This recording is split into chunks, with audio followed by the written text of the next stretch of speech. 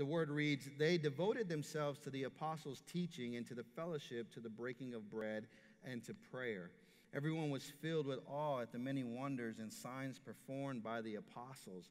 All the believers were together and had everything in common. They sold property and possessions to give anyone who had need. Every day they continued to meet together in the temple court. They broke bread in their homes and ate together with glad and sincere hearts, praising God and enjoying the favor of all the people. And the Lord added to their number daily those who were being saved. What a powerful passage of scripture. I, I love this, this passage of scripture, and uh, you'll see why in a minute, but so much truth in it concerning our Christian journey. Let's pray. Heavenly Father, we thank you for your word. We thank you for everything that you're doing in our lives, God. I pray that you would that you would give us wisdom to hear what the Spirit of the Lord says to us today. God, wisdom to apply it, wisdom to live it out. God, I pray for young and old. I pray, Lord God, that we would we would take your your words serious, Lord. God, that we would do as James instructed the church of Jerusalem to not just be hearers of the word, but to be doers of the word. God, I pray for your anointing this morning that, that uh, I decrease, that you may increase in this house. Lord, that we not hear my voice, but we hear your voice through me. In your holy name we pray. Amen and amen. Well, turn to your neighbor and say, There are indicators all around. you may be seated in the presence of the Lord.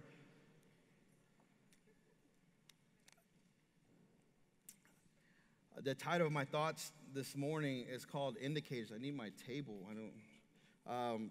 Um, It's called indicators. Two weeks ago, we had an experience with the Holy Spirit that is undeniable. I, how many of you were here two weeks ago? I mean, Sunday morning was just, in both services, it was incredible what the Holy Spirit was doing in our lives. A, a call to repentance, a call to, uh, to receive what God has for us. People at the altar asking God to forgive them for their sins, uh, marriages being restored, broken homes being put back together. And these are the reports that I received from, from two weeks ago relationships being reconciled, and the list goes on and on. You know, people answering the call to serve, people answering the call to ministry. They, these are indicators of the move of God. They're signs, they're, they're symptoms that God is doing something among his people. And I want to continue our journey with the topic of the Holy Spirit today and just and see what the Lord has for us in this department as far as us yielding our lives to the Holy Spirit. So, what did we learn two weeks ago? Well, we learned, oh, thank you. You're awesome. Um, we learned two weeks ago that the provision of God comes with the Holy Spirit. If you want God's provision, welcome the Holy Spirit in your life, and everything comes with that. Everything. and this week, we're going to learn about indicators of a changed life. We're, we're going to talk about how can I tell if I'm changed? How do I know that Jesus really did something in my life? It's a common question that, that people ask when they start following Jesus. How do, how do I know? Well, uh, the Bible is full of indicators. They're tangible evidence that, that a life has been changed, uh, that, you've, that you've participated in the born again process of the Holy Spirit. Here, here's how I would illustrate it is when a child, you remember being a child and, and telling your mom you don't feel well, uh, how would she know what's wrong with you?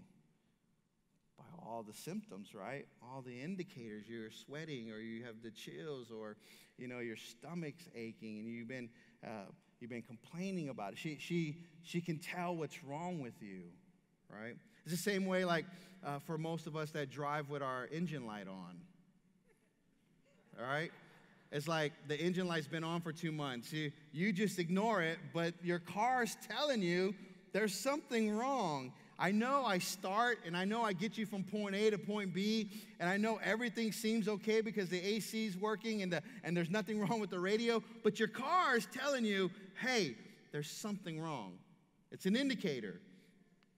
Here's what indicator means it's a thing, especially a trend or a fact that indicates the state or level of something. The state or level of something. Here, here's here's an, an example of that is, you know, car ownership. The type of car that you and I drive is an indicator of our influence. Did you know that? The type of house that we live in, the type of clothes that we wear, it's, it's an indicator of our level of wealth. What does that tell you? It tells me that indicators are visible to everybody. Not just you, but they're visible to everybody. And there's indicators all around us. All around us. Most people would rather just turn a blind eye to our indicators. We would rather live in a state of denial. I get it, you know, because if, if we acknowledge the indicators of our life, then we actually have to deal with what they're indicating. We actually have to deal with maybe an issue that it's, it's pointing to, or, or maybe a challenge that you've been having, and, and, and to, to live a blind eye towards it, well, that, that's, that's the best way to live because I don't have to deal with it. I, I remember when I, I started to gain weight, Katie and I were newlyweds, and I had, uh, when we were newlyweds, I got married at a young age of 20 years old at, in 1995, and I had a 30 inch waist and I weighed 155 pounds. Can you imagine that? Can you imagine that? That's crazy. Is that me? That's crazy. I don't even know who that guy is. Like, it's half of my head. It's like, it's, it's nuts. Like, I, I didn't want to dare give you a full body picture because I'm like, no, I can't deal with that. You know? It's, we lived in Dallas, Texas. We were ministering at, at, at Trinity Church, and, you know, and every night, every night after work, we would go out to eat. Every night. That's, that's, you can do that when you don't have kids, right? Because when you don't have kids, you're rich. you just are. You know? He, he, he, like you're on top of the world. And so we didn't realize it though, so we didn't know how to take advantage of it other than just eating out. So we would go eat out every night after work. And, and uh, my favorite place to eat was on the border, I, which I don't know why now because I try to go back to on the border after living in Laredo for 17 years. It's like gross. Sorry, on the border, but it's, it's just not good. And, um, and so my first year of marriage, I'm just thinking, you know, everyone's telling me, hey, dude, like, like slow it down. You're, you're, you're gaining weight. And um, I'm like, nah, nah, I'm not gaining weight. And I kept putting it off. And finally, one day I had a family member just, just look me straight in the eye and said, look, dude, you're, you're getting fat, right? What was the indicator? Well, my stomach.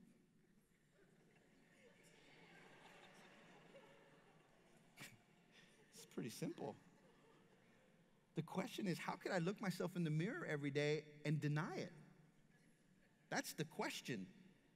How, how do we look ourselves in the mirror every day and go, mm, nah, you're good? right? because it's always easier to, to ignore the indicators. I mean, I, I love food and I love eating out, and I, I love not having a real responsibility of taking care of my body or my health, but the reality is that I did have a responsibility. I had a huge responsibility to take care of my body and take care of my health. I had a huge responsibility. How many know that this applies to the spiritual walk as well? This applies to our spiritual journey with God that we have spiritual indicators that help us measure our spiritual growth or the lack of. Acts 2 gives us our first indicators by showing us lives of, of people. The Bible says 3,000. 3,000 people who, who were saved at the day of Pentecost, their lives radically changed. And how do we know that? How do we know that they, they experienced the born again process in which Jesus talks about in John chapter 3 with Nicodemus?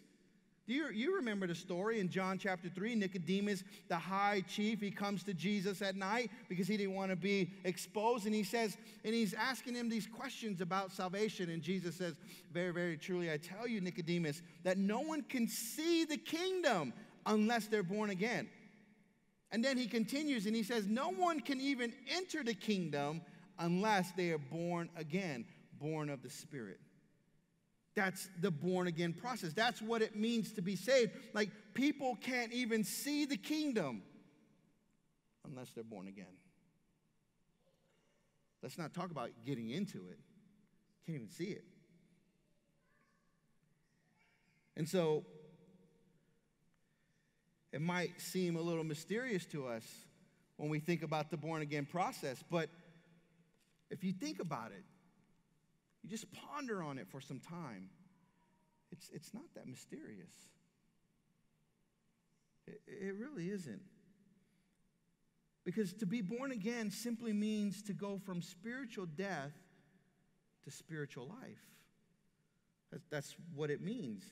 When you are born again, you are, you are exiting the old life, leaving the old spiritual life, and you're entering into a new life with Christ.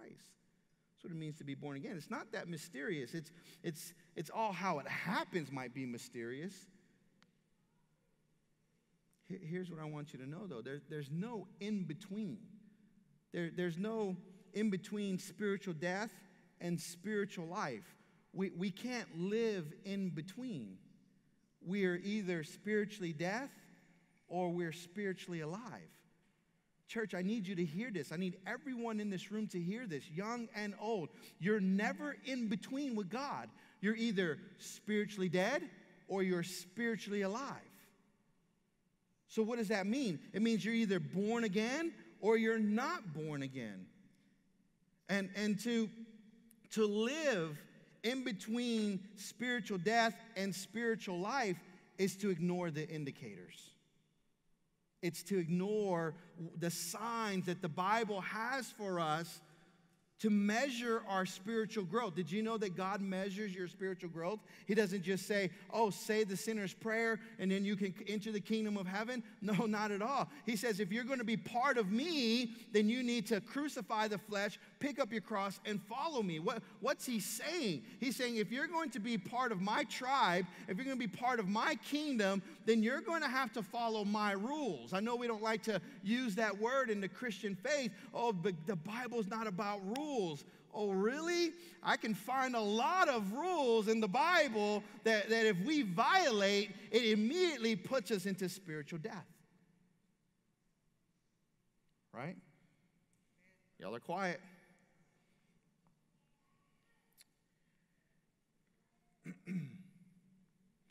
To live in between spiritual death and spiritual life is to is a person who doesn't completely trust God the Father God the Son, and God the Holy Spirit.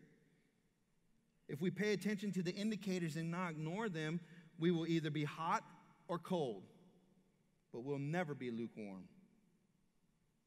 Revelation tells us God rather you hot or cold, but if you're lukewarm, he'll spit you out of his mouth. He'd rather you decide, I'm either all in or all out. He, he would.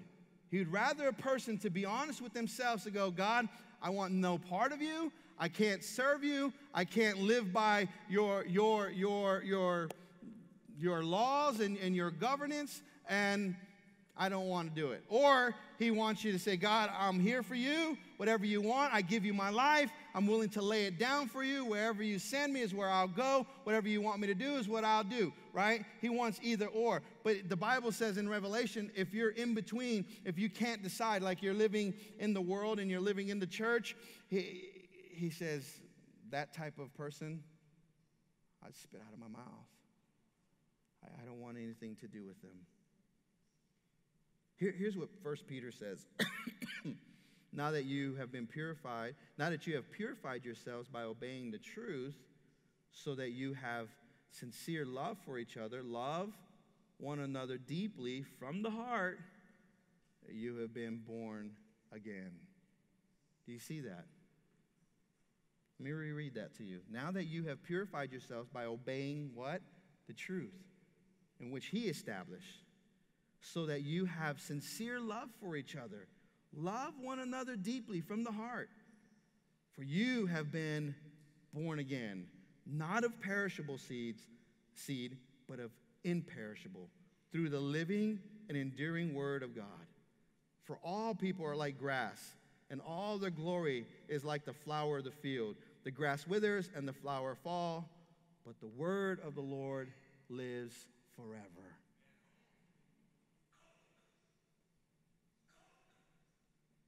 He continues in Ephesians.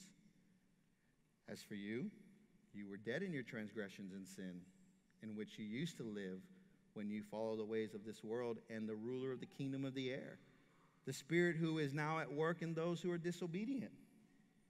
All of us lived among them at one time, gratifying the cravings of our flesh and following its desires and thoughts. Like the rest, we were nature, uh, excuse me, by nature deserving of wrath. But because of his great love for us, God, who is rich in mercy, made us alive with Christ, even when we were dead in transgressions. It is by grace that you have been saved, and God raised us up with Christ and seated us with him in the heavenly realms in Christ Jesus, in order that in the coming age he might show the incomparable riches of his grace expressed in his kindness to us in Jesus. For it is by grace you have been saved through faith. Hear this, and this is not from yourselves, it is a gift of God, not by works, so that no one can boast. For we are God's handiwork, created in Christ to do good works, which God prepared in advance for us. These two passages of Scripture, which there are many, speaks of a life that is born again, speaks of a life that was once in darkness and now is in light. Speaks of a life that lived out the cravings of the flesh, spiritual death. We lived out the cravings of our flesh. We lived out our, our disobedience and we did whatever we wanted to do, act any way we wanted to act. And, and all that, Paul says and Peter says, has been put away when you're born again. It's been put away. It's been, it's been done away with. Stay with me because I'm, I'm making a point here. I, I want you to see that, that a person who is, who is spiritually dead has indicators that show that. And a person that is spiritually alive has indicators that show that. So Paul uses words like dead and disobedience, craving of the flesh as indicators of a person who is spiritually dead and he uses words like mercy and love and good works and grace as indicators of a person who is spiritually alive. There's no middle ground here. There's no, there's, there's no in between. You're either alive or you're dead. Jeremiah says it this way in the 17th chapter of Jeremiah. He says, he says, Curse is the one, curse is the one who puts his trust in men. He's cursed. He depends on the flesh for strength. He says, because when the heat comes, his leaves will wither up and die. But blessed is the one, he says, blessed is the one who trusts in the Lord, whoever finds his confidence in God, because what? He'll be like a tree planted by streams of living water, and his roots will go out and in the season of heat and drought, he won't fear, he won't worry. In fact, in fact, he will always produce fruit. There's a contrast from a person who is spiritually dead and a person who is spiritually alive. The person who is spiritually dead is always going to trust in his and his accolades, always going to trust in his academics, always going to trust in his resources and how he survives in this life. But a person who is spiritually alive is going to have confidence in God, and no matter if those things have failed, God will still sustain them. Do you see the difference?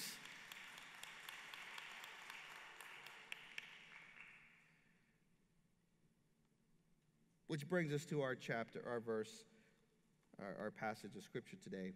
They devoted themselves to the apostles' teaching and to fellowship, to the breaking of bread and to prayer. Everyone was filled with awe at the many wonders and signs performed by the apostles. All the believers were together and had everything in common. It just means that they were in unity. They sold their property and their possessions.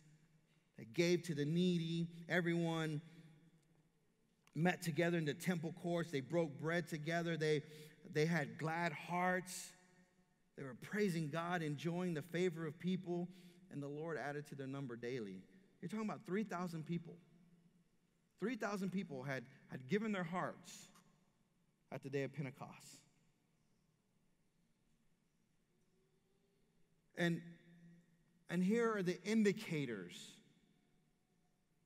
of what they did. They devoted themselves to who? The apostles' teaching. It's an indicator. Your, your, your level of thirst for the Word of God is an indicator of your born again experience. Ouch. Ouch. Because some of us probably haven't even cracked the book this week. Some of us haven't, haven't found time to actually be devoted to God in His Word. But it's an indicator.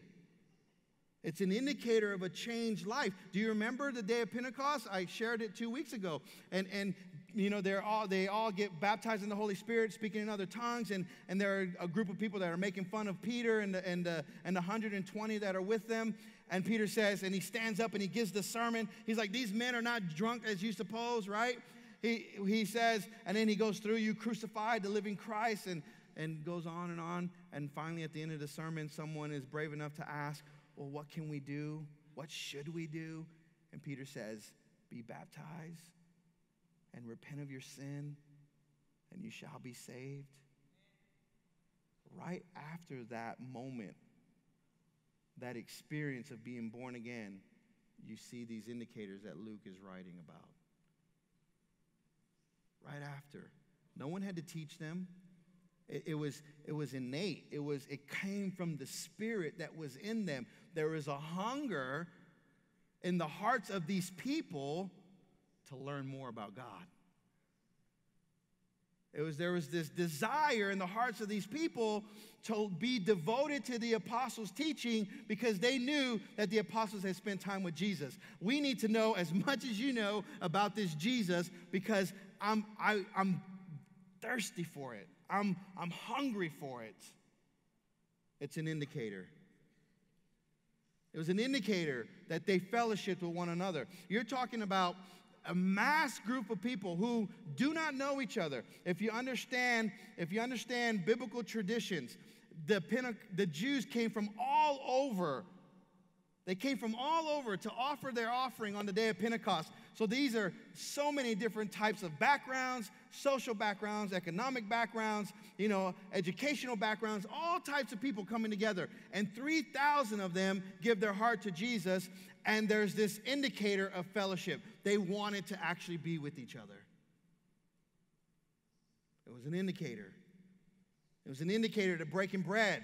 That not only did they fellowship, but they broke bread. They're two different things. They, they, they sat and ate dinner together. They, they, they learned about each other's life because having dinner with someone in biblical days was a very intimate thing. It wasn't just a, fast food moment. It wasn't just, hey, let's go down to Logan's and eat together and, and you know, we're done in 20, 30 minutes. It was a process. And so when you read that they broke bread together, it was an all day process in which these families had spent time together. It was an indicator that something had changed in their life. It was an indicator that they devoted their life to prayer.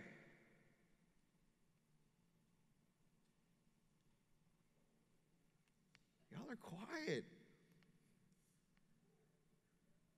Church, these, these are signs for us as individuals to, to measure our life and to measure our spiritual growth and say, okay, eh, eh, do I fellowship with the believers? Oh, no, not really. Do I break bread with them? No, not really. Well, do, do I have a hunger and a desire for God's word? Well, I at least have that, right? But do you really do it? There's a difference from, from actually wanting to do it and actually doing it. Am I devoted to prayer? How's my prayer life? Am I spending time with God the way I should be spending time with God? Am I praying for my, my brothers and sisters in Christ? Am I praying for the laborers as Jesus in, in, er, asked us to pray for? How's my prayer? Because it's an indicator. Listen, if there's not a prayer life activated in your life right now, it's an indicator.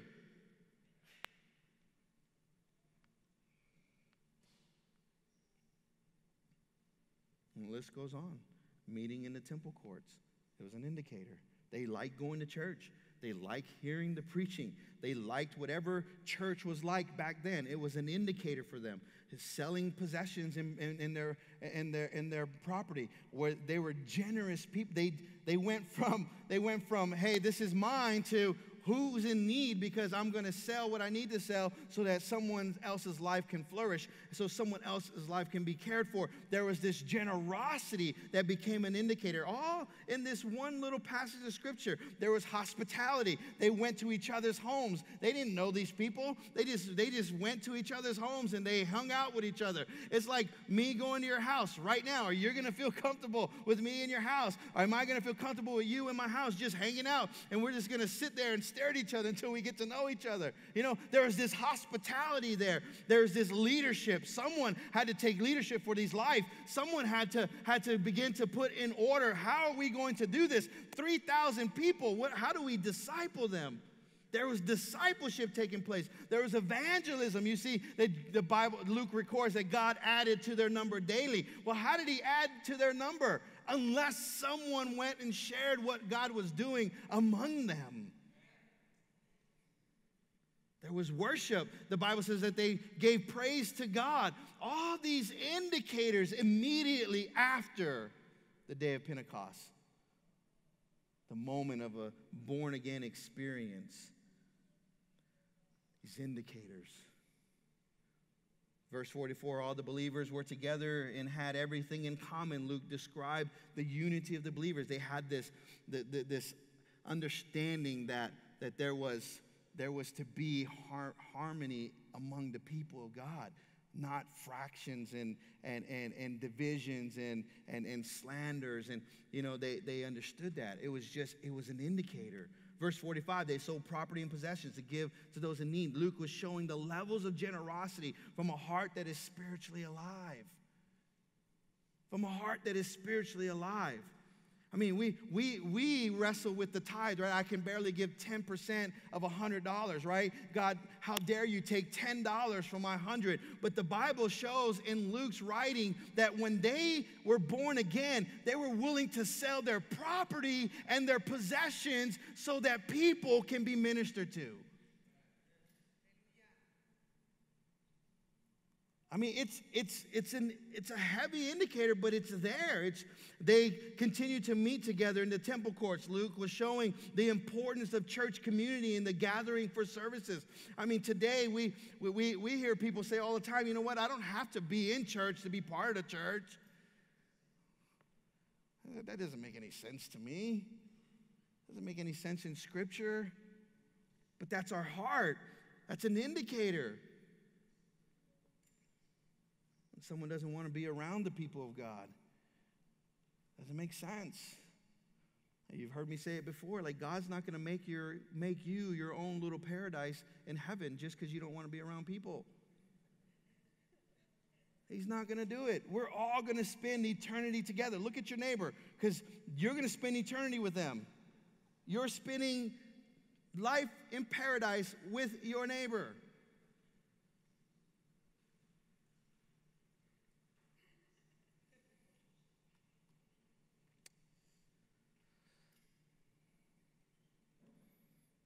Question for you and me this morning is what are your indicators saying? I know what their indicators pointed to. I know what Luke was writing about the 3,000 people in his day and what he had experienced and what he was observing from a life that was cut from the message of Peter to a life that decided, I'm going to follow Jesus. I know what he records, but what are our indicators? What, are, what is our life saying about us? Because that, that's a big question for us today. Are they pointing to a life that is spiritually alive or are they pointing to a life that is spiritually dead? What are your indicators saying? Are, are they are they saying you're you're in the middle? You're kind of deceiving yourself. You you kind of live like the world and look like the world, but there's this part of you that wants God in in your life. What, what, what, what are your indicators saying? I, I pointed out spiritual indicators. Here, here's, here's Paul pointing out indicators that, that point to a spiritually dead life. He says in Galatians, the acts of the flesh are obvious sexual immorality, impurity, debauchery, idolatry, witchcraft, hatred, discord, jealousy, fits of rage, selfish ambition, dissension, factions, and envy, drunkenness, orgies, and the like. I warn you, as I did before, that those who live like this will not inherit the kingdom of God. These are, these are signs, these are indicators of a life that is not living towards God. Young people, pay attention up there. I'm talking to you. This is important. Listen, Second Timothy, this is what Paul says. He says, Mark this, there will be terrible times in the last days. People will be lovers of themselves. Lovers of themselves, lovers of money, boastful, proud, abusive, disobedient to their parents, ungrateful, unholy, without love, unforgiving, slanderous, without self control, brutal, not lovers of good, treacherous, rash, conceited, lovers of pleasure rather than lovers of God having a form of godliness. This is those people that live in between the spiritual dead and the spiritual living. They have this form of godliness. They look like the church, they act like the church, they speak like the church. But Paul says th- that they had to have nothing to do with them. It's crazy. Like we can deceive ourselves to the point where we think we are spiritually healthy. And God is giving us indicators everywhere going, look at this. You don't want to read the word. You don't want to spend time in prayer. You, you, don't, you don't want to fellowship with believers. You don't want to go to church. You don't want to worship God. You don't want to evangelize. You, and the list goes on. All from Luke chapter 2, verse 42 to 45. But yet we have all these, these fleshly indicators. Here's what he says in Ephesians 5 he says, For God, follow God's example, therefore, as dearly loved children, and walk in the way of love, just as Christ loved us and gave himself up for us as a fragrant offering and sacrifice to God. But among them, listen, said, but among you there must not be even a hint of sexual immorality or any kind of impurity or of greed, because these are improper for God's holy people. Nor should there be obscenity, foolish talk, or coarse joking, which, which are out of place, but rather thanksgiving. For of this you can be sure no immoral or impure or greedy person, such a person is an idolater, has an inheritance in the kingdom of God. It says, Let no one deceive you with empty words, for because of such things God's wrath comes on those who are disobedient. Therefore, do not partner with them. For you were once darkness, but now you are light.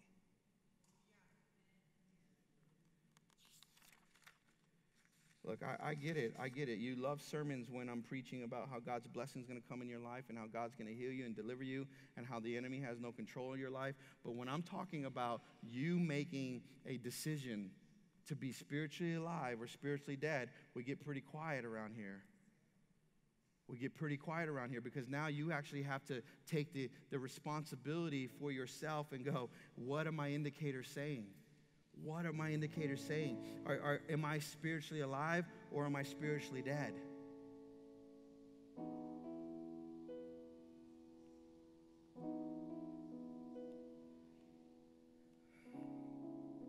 imagine if we lived with awareness of all the indicators of our life? Would we be able to live? Listen, you would be able to live a full and complete Christian life. The Bible's very clear about that. That, that you, you would be whole. I, I want you to, to inventory your life in the next few moments. I want you to think about the indicators. What are they pointing to? What, what are they pointing to? Are they pointing to spiritual growth? Or are they pointing to spiritual stagnation? Are they, are they pointing to you becoming more like Christ? Are they becoming less like Christ? What, what are your indicators pointing to? Here, here's, here's the thing about the indicators they're assigned to you. They're assigned to you to measure your life and your spiritual growth, but everybody sees the indicators. Everybody. Like I can't hide my weight from you. It's there. It's here. It's it's in front of you. I can't tell you, hey, I'm skinny. I, I have a waist of 30 inches. I can't tell you that because the indicators are in front of you. You're like, whoa, Pastor, like there's this dissonance happening. Like there, there's there's something wrong. You know, you have body dysmorphia. Like, like there's you need to understand. You know? But we do it all the time as Christians. We say, I love God. I love God. But you, we, we would never find you at a weekly prayer meeting. Ever. But it's one of the indicators that they are born again, that they devoted their lives to prayer.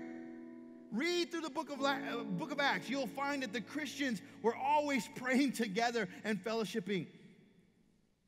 It's one of the indicators. Like you'll say, Oh, I'm going to heaven, but yet you don't read your Bible. How's that? How's that even possible? I, I don't understand it. It's like I, I want to be your warning sign. I want to be the, the siren going off in your heart today, going, Wake up, wake up. Listen, the time is short. You cannot deceive yourself anymore and think that you can live in between spiritual life and spiritual death. You're either alive or you're dead. You, you can't be in between. And the only way to tell are your indicators. They're there.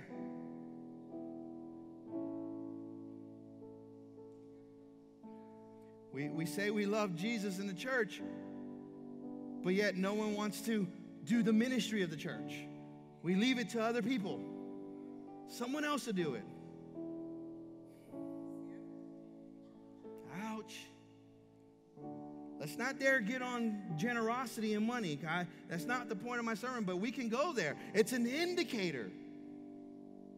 It's an indicator like where your heart is there your treasure will, will also be.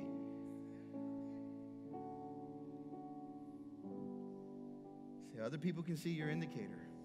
What are they pointing to? Are they pointing to growth? They're pointing to apathy. They're pointing to a passion for Christ. They're pointing for, to, to lethargic attitude. Uh, I don't care. What are your indicators pointing to? Because if you choose to ignore them, choose to ignore them, we only deceive ourselves. Because God sees them and everyone else sees them. They're a sign, they're a measurement for your growth. How are you measuring up today?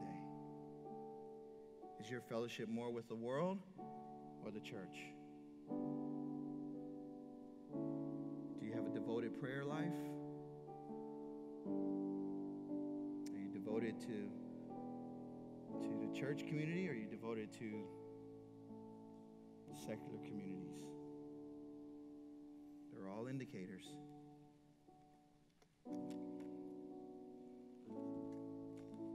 I told you it was short and sweet. We have, we have, we have to make a decision here. If your indicators are are pointing towards spiritual death, today's the day. Today's the day to ask God to forgive you. You know what your indicators are pointing to.